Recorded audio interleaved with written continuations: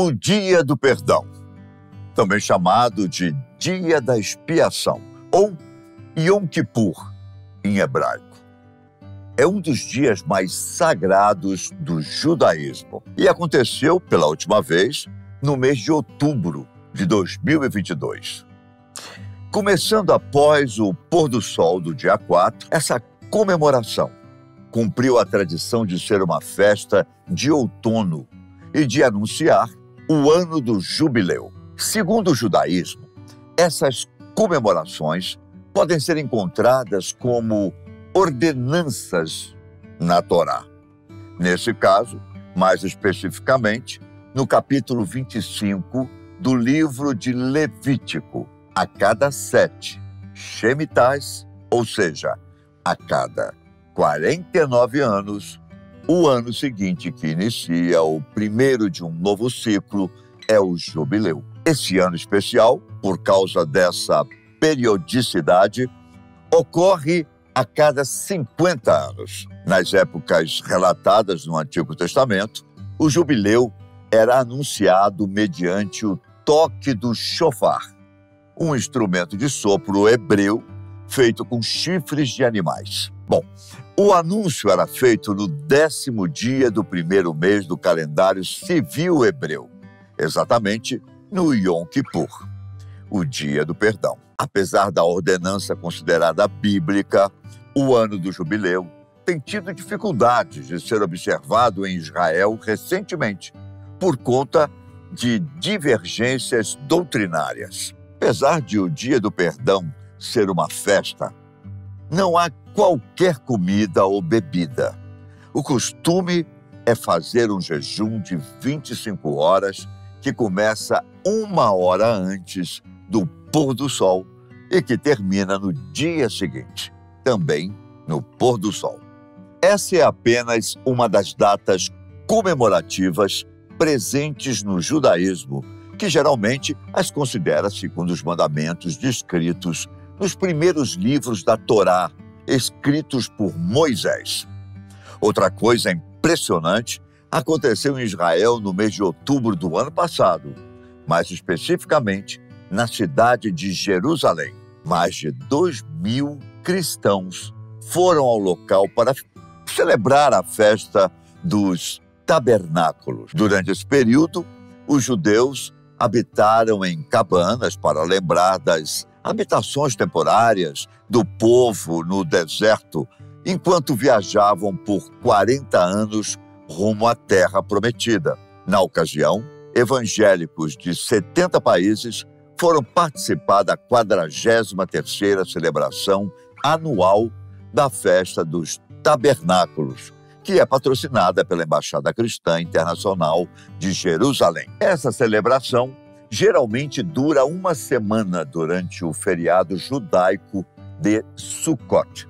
O evento foi iniciado nas margens do Mar da Galileia, com duas noites de adoração no Parque Nacional de Cafarnaum. A programação envolvia diversos eventos em Jerusalém, como o Roll Call of the Nations, em que diversas nações se apresentam e mostram suas bandeiras.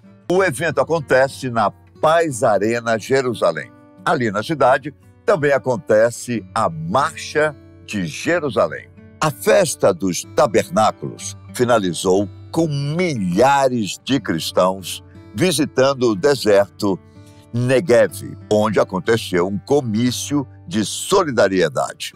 Também houve uma cerimônia de plantio de árvores com líderes das comunidades israelenses ao longo da fronteira de Gaza. O Escritório Central de Estatísticas de Israel disse que os cristãos representaram 55% dos 4 milhões e meio de turistas que foram a Israel no ano de 2019. Destes, cerca de 30% eram evangélicos. Ou seja, não só os judeus têm participado das celebrações tradicionais do país, como também povos de todos os lugares do mundo. Essa busca por representações da fé que ocorrem na nação israelita está descrita na Bíblia.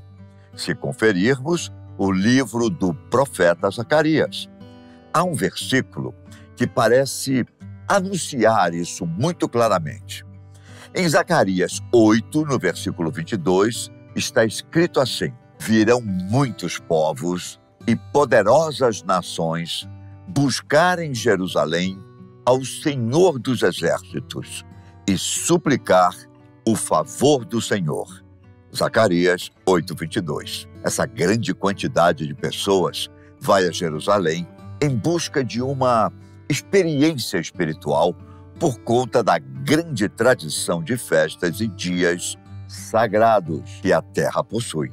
Afinal, o ano do jubileu, o dia do perdão e a festa dos tabernáculos não são as únicas comemorações. Ao investigarmos os livros de Êxodo, Levítico, Números e Deuteronômio, vamos descobrir diversas comemorações. Os hebreus comemoravam a Páscoa, a festa dos pães ázimos, as primícias, o Pentecostes, as trombetas, a festa de Purim e outras mais. Mas afinal, qual o objetivo de tantas festas? As comemorações faziam parte da lei de Deus para seu povo, principalmente a lei cerimonial. No decorrer do tempo, Deus foi revelando essa lei de forma especial. Por exemplo, ele comunicou a Noé sua vontade também aos patriarcas de Israel. É o que podemos chamar de revelação divina.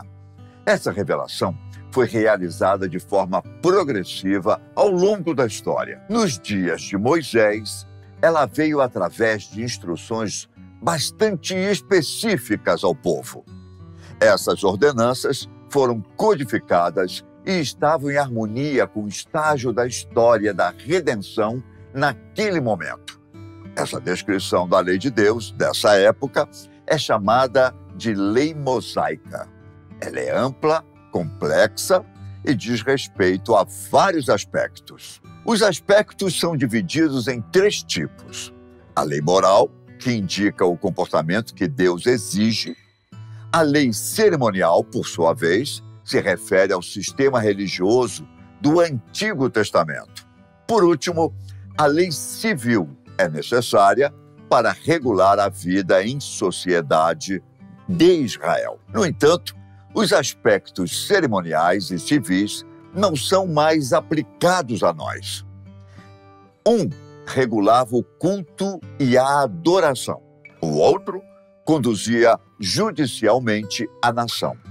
Ambos apontavam para Cristo. O propósito deles era específico e limitado às circunstâncias da época.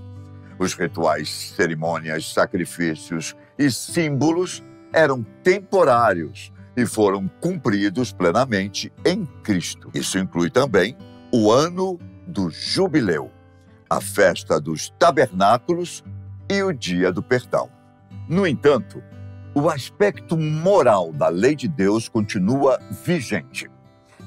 Ele foi o fundamento para os outros aspectos e o padrão moral do Criador não foi e nunca será alterado, pois o eterno é imutável. O aspecto cerimonial das festas foi tão cumprido que podemos perceber isso em suas palavras. Tomemos como exemplo a própria festa dos tabernáculos. Ela fazia o povo lembrar do tempo difícil que teve no deserto, quando precisou morar em tendas, também chamadas de tabernáculos. Mesmo nessa época, água e suprimentos da parte de Deus não faltaram. No tempo de Jesus, a celebração mantinha esse aspecto. O toque das trombetas convocava o povo que assistia aos sacerdotes irem ao tanque de Siloé para encher uma vasilha de água. Depois, iam para o templo e derramavam o líquido no altar. O ritual simbolizava ações de graças pela chuva que possibilitaram as colheitas. Jesus falou sobre ser superior à própria água. Foi justamente durante uma celebração da festa dos tabernáculos quando a água estava sendo transportada, que Cristo disse: Se alguém tem sede, venha a mim e beba. Quem crer em mim, como diz a Escritura, do seu interior fluirão rios de água viva.